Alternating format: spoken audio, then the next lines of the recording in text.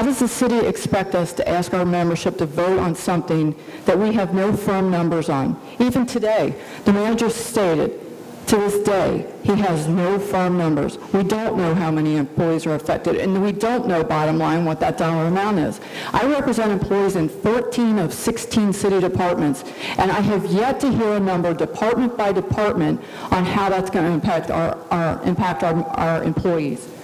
And until we do so, how do we ask them to take for, to a vote? Pitting department against department is flat out union busting. And you could tweet this.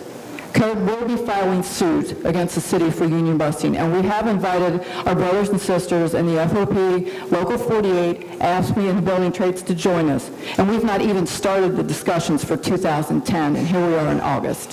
Thank you.